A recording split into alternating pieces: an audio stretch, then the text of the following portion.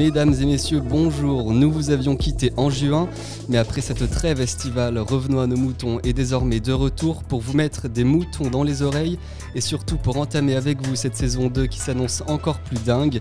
Et justement, ce n'est pas lui qui vous dira le contraire. Pour ce faire, je suis comme toujours accompagné du Vingegaard de Revenons à nos moutons. Fabien, bonjour. Bonjour. Alors au programme de cet épisode 6, euh, nos rubriques qui tiennent la route, à commencer par les excellentes 120 secondes de Fabien bien sûr. Aujourd'hui un thème qui me tient à cœur puisqu'on va s'intéresser à un mouvement musical tentaculaire dont vous connaissez forcément des sons, mais pas forcément le nom, la hyperpop. C'est magnifique. Ensuite, pour bien démarrer cette saison, nous recevrons Hugo, cycliste déchaîné. Il est en terminale à Vaclav et il fait 12 heures de vélo par semaine. Bref, il en connaît un rayon. Et puis forcément, qui dit saison 2 dit retour du micro-trottoir et aussi de l'agenda culturel. On fera un tour à la Rock School Barbet pour découvrir Zedjun Pavarotti. Allez, on va tenter de ne pas perdre les pédales. Revenons à nos moutons 6, c'est parti. Revenons à nos moutons. Et donc, pour commencer, les 120 secondes de Fabien, euh, on t'écoute. Alors aujourd'hui, donc un sujet euh, qui tient, euh, qui, comme j'ai dit, tient particulièrement à cœur et aussi à beaucoup de gens. On va parler de musique. Donc je vais parler d'hyperpop. Alors probablement ça dit quelque chose à un certain nombre d'entre vous. Je vais revenir dans le détail dans ce que c'est que l'hyperpop, ce que c'est que ce mouvement musical. Et même si vous connaissez déjà un peu ce que c'est, je vais essayer de vous faire découvrir quelques sons. Donc il n'y a pas vraiment de définition universelle de ce genre. J'aimerais quand même vous donner ma préférée avant de vous faire écouter, selon le journaliste, avant de vous faire écouter. Donc, selon le journaliste Joe Vitagliano, il s'agit d'un genre composé de synthétiseurs, d'autotune, de percussions inspirées de glitch et d'une ambiance dystopique de fin du capitalisme. Euh, ça pose l'ambiance. À l'international, ça ressemble à ça.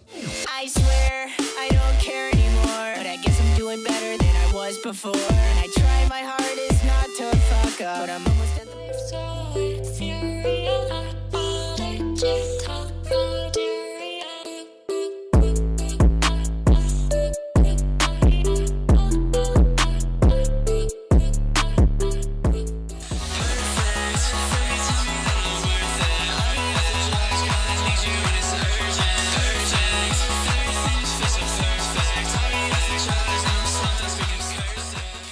Donc là, je vous ai fait écouter quelques sons, mais en réalité, il y a beaucoup euh, de hits qui peuvent être euh, considérés comme de la pop. On peut, on peut penser à euh, Brooklyn Blood Pop ou encore Sugar Crash, le son qui est passé des années sur TikTok.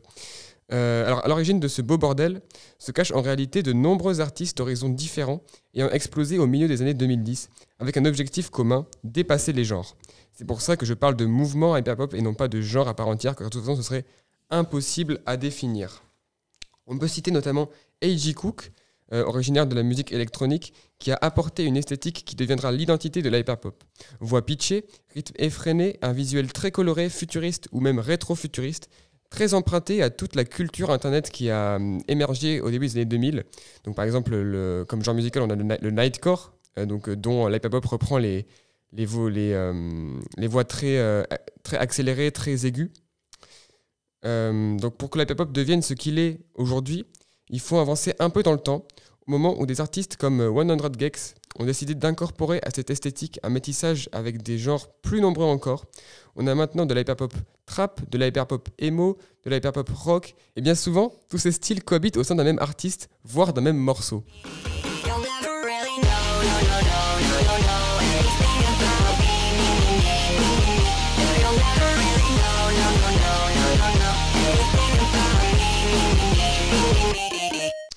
L'hyperpop, c'est aussi l'art de l'exagération. C'est d'ailleurs de là d'où est tiré son nom. On retrouve bien des éléments pop, ainsi que d'autres styles comme je viens de l'expliquer, mais tout se mélange et boosté aux hormones en ajoutant une bonne dose de saturation, de glitch, de basse et de tout ce qui en général, tout ce qui agresse l'oreille, comme vous avez pu l'entendre. On est complètement avalé sous un mur de son qui force euh, son cerveau à s'adapter aux informations qui lui parviennent tout en même temps. Ce côté agressif, c'est l'apanage d'une musique extrême, comme peut l'être le metal ou la rave par exemple. Dans ses proportions les plus extrêmes, l'hyperpop n'est plus qu'une chimère, sorte de conglomérat de sons dissonants rajoutés en couches successives placées autour d'une mélodie qui reste pop mais qui est noyée sous des murs de bruit au genre indéfinissable, exaltation d'un mouvement peuplé d'artistes sans concession, prêts à aller aussi loin que possible dans leur art.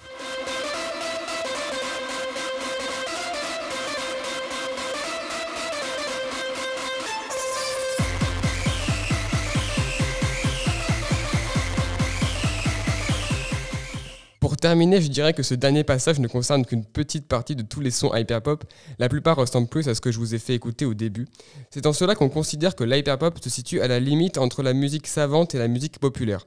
Un mouvement aux mélodies les plus catchy possibles qui peuvent à tout moment se muer en l'équivalent d'une crise d'épilepsie auditive.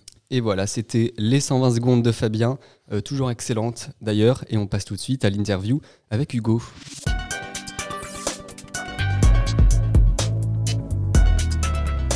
Revenons à nos moutons. Euh, donc on commence cette saison sur les chapeaux de roue avec toi Hugo. Euh, bonjour. Bonjour. Et donc, euh, petite question un peu stupide, le, le vélo c'est vraiment la grande passion de ta vie actuellement?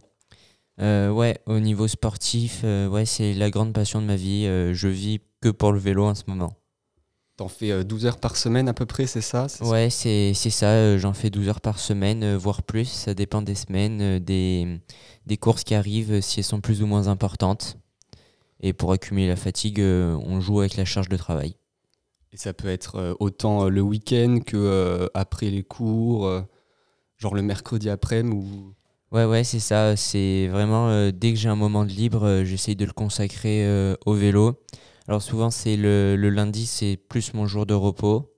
Et après, euh, le, toute la semaine, du mardi au dimanche, euh, je fais du vélo. Ouais, quand même. Euh, Est-ce que tu peux nous faire une review de ton amour pour le vélo? Genre comment ça a commencé et comment c'est maintenant Comment ça a commencé?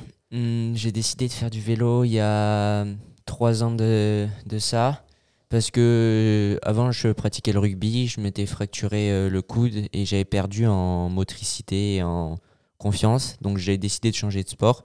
Et dans ma famille, le vélo, c'est vraiment un sport euh, où tout le monde en fait, c'est très familial, un nom plutôt con- connu, pardon. Et donc, ben, je me suis dit, à force de regarder le Tour de France à la télé, le Tour d'Espagne ou le Tour d'Italie, ben, ça m'a donné envie de faire du vélo et aujourd'hui j'en fais.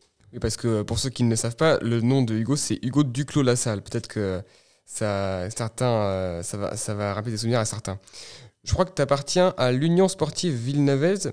Tu peux nous expliquer plus précisément ce que c'est que ce club et puis quel jour d'entraînement vous faites et puis avec qui, en gros, euh, comment ça se passe quoi? Alors, euh, oui, j'appartiens à l'Union euh, Sportive Villeneuve, donc nous, on va plus parler de l'USVC euh, pour euh, être plus rapide. Euh, donc, euh, ben, euh, c'est un petit club de la Gironde qui pratique beaucoup le VTT en loisir, surtout. La route, il n'y a vraiment que nous chez les juniors et après quelques seniors, mais c'est vraiment axé sur le VTT, le club. Les entraînements. sur une semaine normale avec une course le dimanche. On va s'entraîner le mercredi après-midi. On va varier entre 3 heures à 4 heures d'entraînement. Pour ma part, le vendredi euh, où je vais faire des intensités, je vais aller faire une heure et demie avec euh, des intensités de une minute à fond par exemple. Le dimanche, on va faire une heure pour euh, débloquer, on va dire, le moteur. Et dimanche, c'est la course. Et du coup, tu disais beaucoup de vélos à Villeneuve, beaucoup de vélos de VTT. Et toi, c'est que vélo sur route, on est d'accord? Oui, oui. Alors l'hiver, j'essaye quand même de varier, d'aller faire du VTT pour changer de, de la route euh, parce que c'est plus agréable de d'aller rouler euh, dans les forêts euh, l'hiver que sur la route quand il pleut, on est plus abrité, même s'il y a la boue. Mais après, ouais, ouais, la, ouais, le VTT. Et quand t'en fais, du coup, c'est très variable. Comme tu disais, ça peut être des entraînements plus intensifs ou moins intensifs. Et la, la durée aussi, elle varie. Genre, c'est c'est moins longtemps et c'est pendant plus de kilomètres. Oui, bah, c'est en fait euh, les souvent on se base sur les kilomètres pour euh, faire euh, un temps. On a une, une référence, c'est 30 km en une heure. Ça fait du, du coup du 30 30 km heure, voilà. Après, à force de prendre de la force l'hiver avec les courses et tout ça, on va on roule souvent un peu plus vite. Donc ben, on n'est pas vraiment sur, les, sur ça, mais c'est toujours une, une base pour savoir, par exemple, si on part faire 3 heures, on sait qu'on va faire à peu près environ entre 90 et euh, 95 km. Ça, ça varie, donc euh, ouais, c'est, ça dépend aussi de la course. Le dimanche, si elle est plus ou moins longue. Parce que nos, mes courses, elles peuvent monter jusqu'à 130 km. Donc euh, ben, quand tu, dois faire 130 km en, course, faut avoir la distance déjà. Donc tu es obligé de le travailler à l'entraînement et au moins faire 4 heures de vélo. Ça ressemble un peu à comment on s'entraîne quand on veut euh, apprendre juste à courir, euh, simplement, même sans euh, forcément le vélo. Ça ressemble à l'entraînement de la course. Euh, on sait que chaque coureur a un peu sa spécialité, genre par exemple sprinter, grimpeur, etc., rouleur. Toi, ce serait plutôt quoi? Ah, C'est une très bonne question.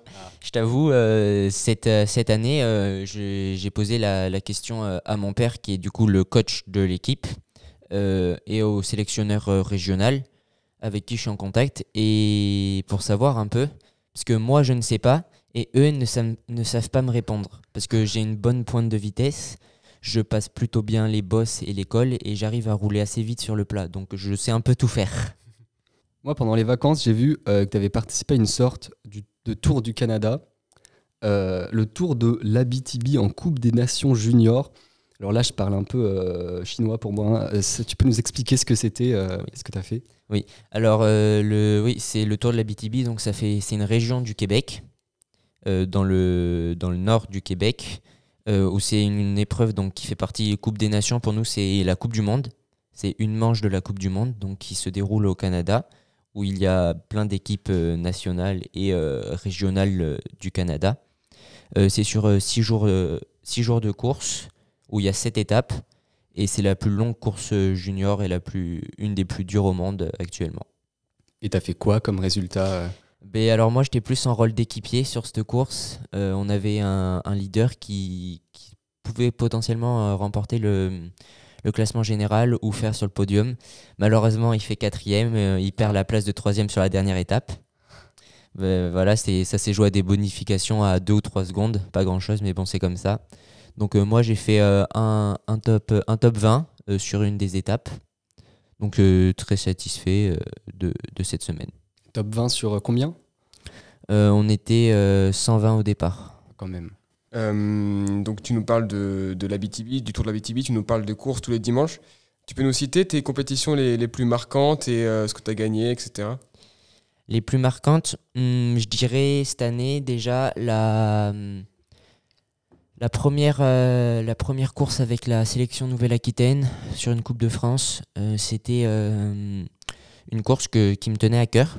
J'avais envie de, de, la faire, de découvrir les, les pavés. C'était dans le nord, euh, où en plus on passait sur des secteurs de Paris-Roubaix.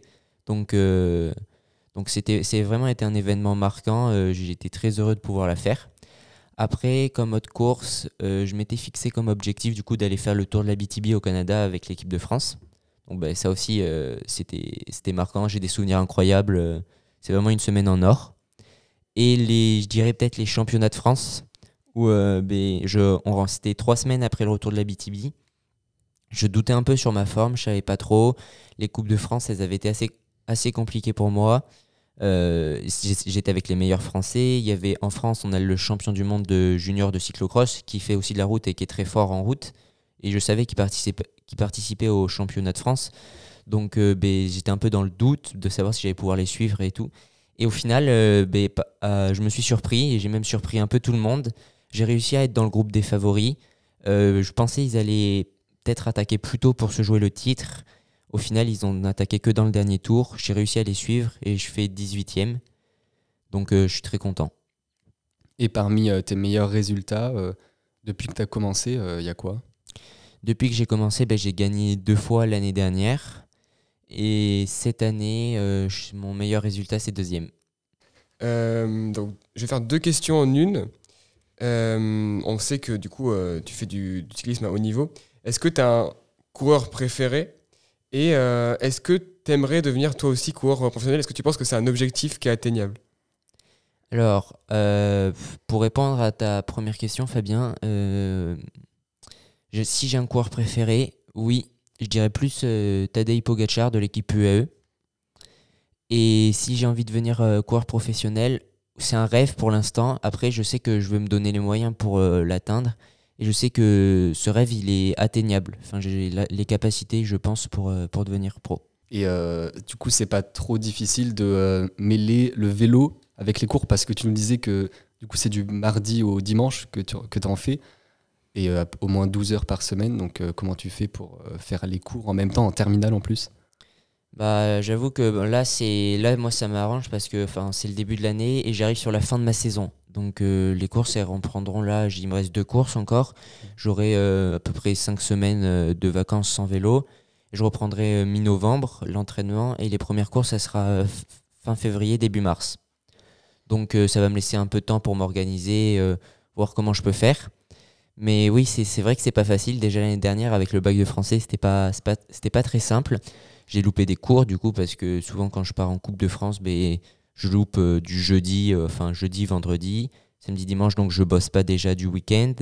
Il faut ren- rentrer lundi, se remettre à jour des cours que tu as loupés. Enfin, c'est assez compliqué, mais j'ai réussi à gérer et je pense cette année, je vais encore réussir à gérer. Alors moi je me disais aussi, euh, j'avais une question, à force de faire du vélo, tu dois découvrir plein de paysages, de nouveaux endroits. Est-ce que c'est aussi ça un des atouts Euh, ouais, ouais, je pense que c'est ça. Moi, ce qui me plaît dans, dans le vélo aussi, c'est de découvrir tout le temps des, des nouveaux paysages, des routes qu'on connaît pas, des nouvelles régions en France, de, de nouveaux départements. Cette année, j'ai eu la chance du coup de, de pouvoir euh, visiter un peu toute, toute la France parce que j'étais un peu partout. Euh, L'année dernière, c'est un peu pareil. Et même pour les vacances, je, je, mes parents adaptent leurs vacances un peu en fonction de moi et pour le vélo. Et du coup, ben, ça nous fait découvrir aussi certaines régions euh, dans lesquelles je n'aurais pas du tout été. Par exemple, la Bretagne. Les championnats de France se font deux fois là-bas. C'est pas forcément une région qui m'attire, mais pourtant, c'est vraiment très joli. Bon, il y a un peu de vent. Euh, après, oui, l'Espagne et même le Canada, euh, ça a toujours été un rêve d'y aller pour moi et de découvrir ben, cette région du monde. C'était vraiment, euh, vraiment incroyable. Ouais, donc en plus de faire du vélo euh, partout en France, t'en fais dans d'autres pays. Oui, voilà, c'est ça. Ok, ben ce sera tout. Et pour euh, finir cette interview, on a choisi arbitrairement une chanson. Et donc, euh, bah, ce sera euh, Speed Drive de Charlie XCX de la BO de, de Barbie, parce que euh, elle est bien cette chanson. Voilà. À tout de suite.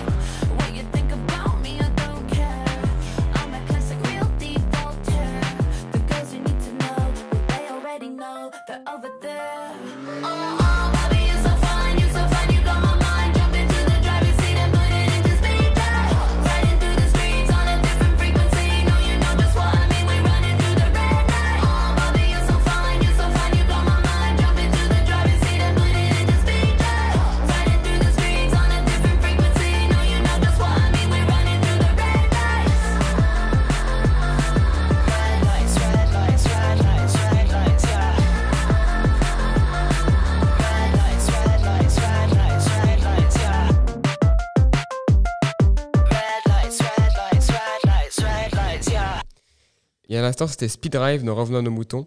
Et là, c'est l'agenda culturel de Samuel.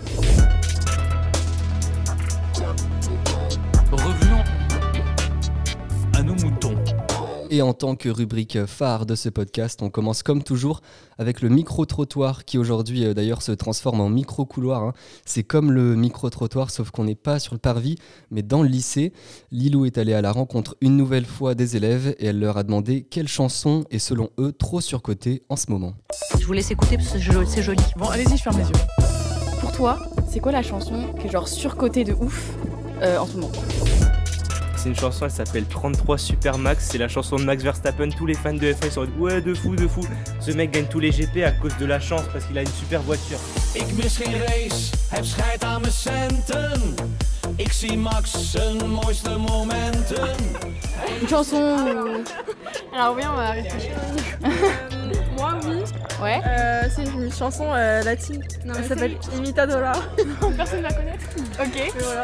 Esta noche me hago el interrogante y le pongo fin a la impostora, usurpadora. Exijo contigo. Je sais pas en vrai. Un artiste qui est gavé sur côté ou une chanson, genre, en ce moment. J'aimerais bien dire un truc, mais. Non, vas-y, vas-y, vas-y. grandi sur côté de fou. Ok, ok, ça marche. Ça passe.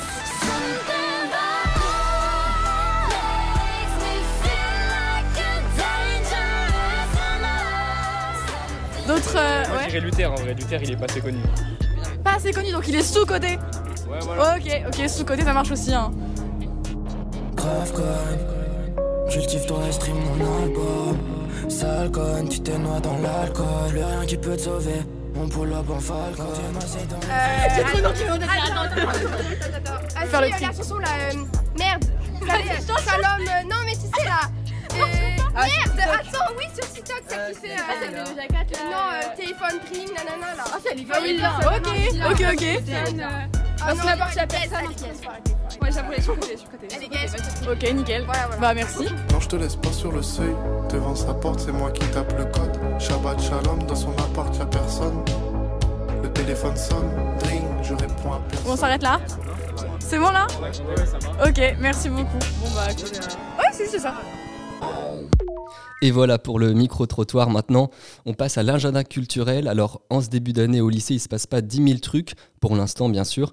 Mais on a quand même appris récemment que les élèves de la filière sanitaire et sociale ont organisé une semaine de solidarité internationale euh, pour venir en aide aux sinistrés après les événements au Maroc et en Libye. Et ça, c'est quand même très beau. Cette semaine, euh, elle a lieu du 18 au 22 septembre, même si quand vous écouterez euh, cet épisode, elle sera certainement passée.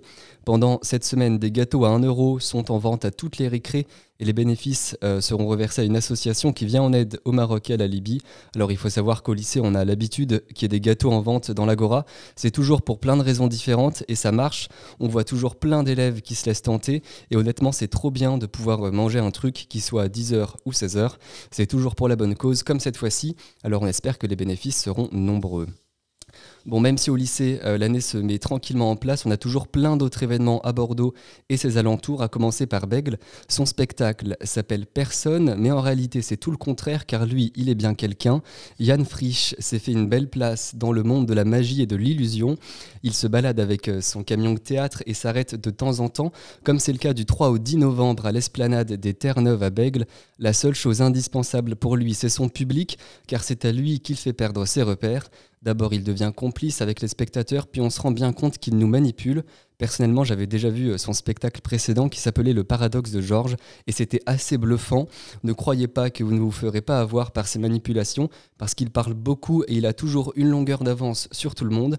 On l'a d'ailleurs déjà aperçu dans Burger Quiz à la place du chef cuistot William, preuve qu'il saura vous cuisiner vous et le reste du public. Il passe donc entre le 3 et le 10 novembre à Terre-Neuve. Il s'appelle Yann Frisch et les places coûtent entre 6 et 20 euros. J'ai pas vu le spectacle, mais à mon avis, ça vaut le détour. Aussi, il vaut le détour, mais pas dans le même registre. On passe de la magie à la chanson. Zedioun Pavarotti, vous l'avez peut-être déjà entendu puisqu'il a fait les premières parties d'Orelsan.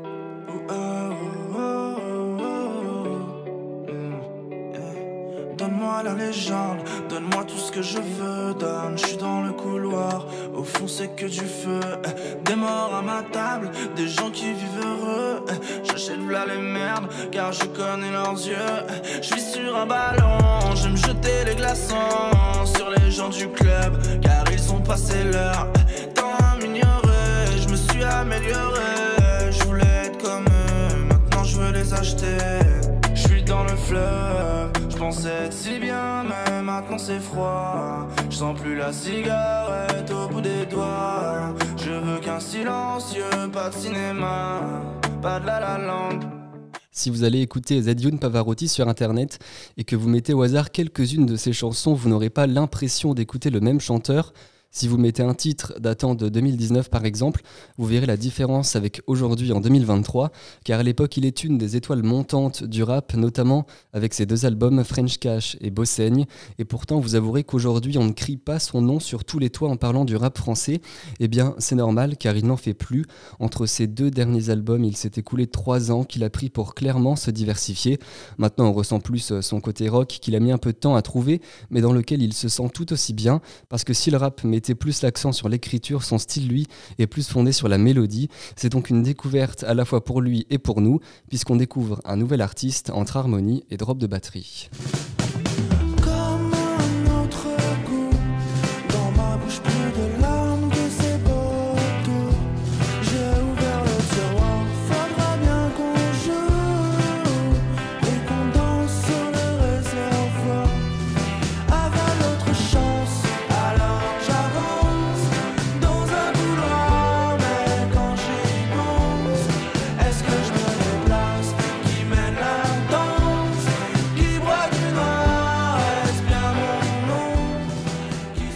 Selon lui, Zedune Pavarotti n'a jamais été rappeur, il a fait du rap et il voit une vraie différence. Il ne s'en est pas trop mal sorti dans un monde où, toujours d'après lui, être rappeur c'est un sport à part entière.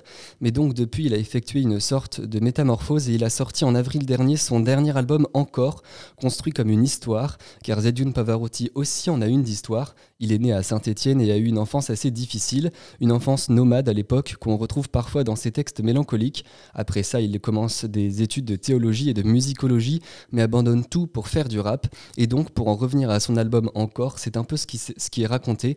D'abord la thèse, malgré ses origines modestes, il parvient à se faire une place, aussi simple soit-elle. Ensuite, l'antithèse, une fois qu'on commence à être connu, attention à ne pas prendre la grosse tête. Il le dit lui-même, il veut simplement s'acheter une maison. Et enfin, en synthèse, son dernier objectif serait de trouver l'amour véritable. Liquide en vitesse, je le ferai comme.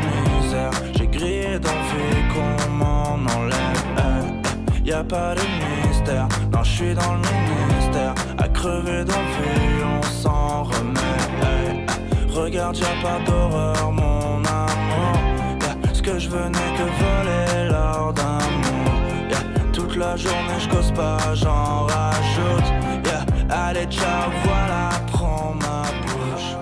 Maintenant, j'aimerais revenir en arrière et vous parler un peu de Bossaigne, son deuxième album, sur lequel il faisait encore du rap. Bossaigne, c'est un peu le peu cher de Saint-Étienne. L'album rentre dans les clous de ce qu'a déjà produit Zedune Pavarotti auparavant, et il est une nouvelle fois vu comme un chanteur dépressif, certains disant qu'il rappe le spleen, et pourtant Zedune Pavarotti trouve que cette image ne lui correspond pas du tout. Certes, il a été un garçon solitaire quand il était à Saint-Étienne, mais il essaie de s'en affranchir. Il est seul du premier au quatorzième titre, et c'est ce qui en fait sa force. Il le dit même dans plusieurs interviews. Pour lui, la fête, c'est solitaire. Ses meilleurs compagnons, ce sont ceux qui l'ont inspiré. John Lennon d'abord avec Yesterday qu'il a repris, mais aussi Pete Doherty. Il aime bien la manière dont il pose ses mots. Lui aussi, ses mots, il les pose et il fait ça très bien.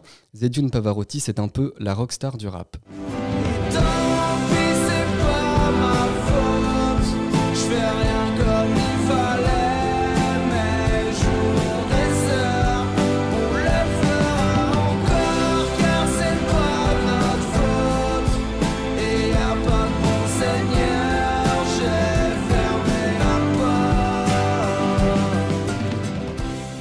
L'amour est un thème central dans la musique de Zedune Pavarotti, et pourtant il reste très solitaire dans ses albums. Ça ne le change pas de la scène où lorsqu'il se produit, il ne bouge pas et fait une sorte de mouvement avec sa main. Justement, si vous voulez le découvrir sur scène, c'est possible. Il passe le vendredi 6 octobre à la Rock School Barbet à 21h. Les places coûtent 25 euros.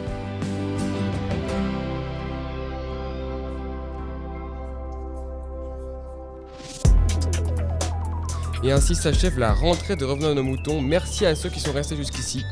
Merci à Hugo d'avoir inauguré cette année et de s'être bien porté au jeu de notre interview. Merci à mon co-animateur Samuel qui, avec sa voix suave, porte toujours Revenons à nos moutons sur son dos. Avec plaisir. On remercie pas assez nos journalistes du micro-trottoir, donc merci à Lilou qui a donné de son temps pour euh, faire ce micro-trottoir. Restez bien connectés car on est reparti pour une nouvelle saison et on va essayer de vous proposer le contenu le plus qualitatif possible. Abonnez-vous au compte Instagram du podcast arobase podcast.vaclav pour ne rien manquer. Pour ne rien manquer. On remercie toujours le lycée de nous permettre, de nous, mettre ce studio à disposition. Et puis nous, on vous dit à dans à peu près un mois pour le prochain épisode.